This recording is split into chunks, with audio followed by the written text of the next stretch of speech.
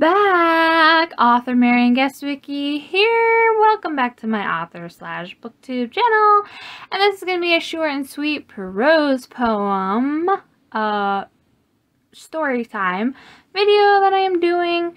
And the prose poem is called Unwanted Apparition at Liberty Inn. And this is based on a true story that happened in the month of May or June 1992 at the age of seven. So enjoy the short little story time series prose poem. See you around the writer's block. And we are back reading a prose poem from Unearthly Beings, poetry book by me, Maryann Gestwicki. Okay, here we go. Unwanted apparition at Liberty Inn.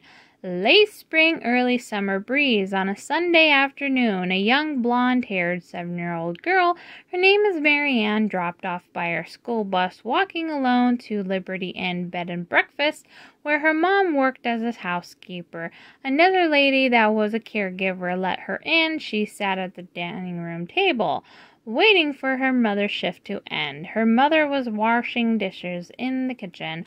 While chatting with a caretaker, she saw a wicker chair ro- rocking with no one sitting there, next to a window in a living room by a fireplace. We both were curious. It rocked three times. We thought it was odd.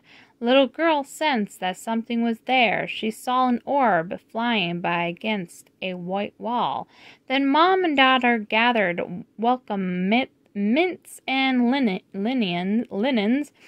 They went upstairs to make up the beds. Hallway felt stuffy.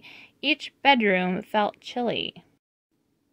In the last bedroom, walking through the door, a cold spot hit her body. Maryann felt hot and cold sweats. She started shaking. Her heart was racing. An invisible visitor is choking her. Flash visions of a Civil War sh- soldier, blue uniform phantom, hung from a bedpost, hard for her to breathe. Suffocation by a ghost. Something is wrong crying for air. She ran downstairs. She got too scared. Caretaker took her outside. Maryann yelled, Get off! Ghost, get off my back! Stop giving me a panic attack! Visitor, you are not welcome here! Apparition, apparition disappeared. In the late 1800, there once stood a military hospital for wounded Civil War soldiers. Some patients were insane, some were suicidal, some were in pain. Maryann didn't understand until years later, in 2012 through 2013, she joined her Historical Society, Society Museum when she found out about the history of Liberty and property.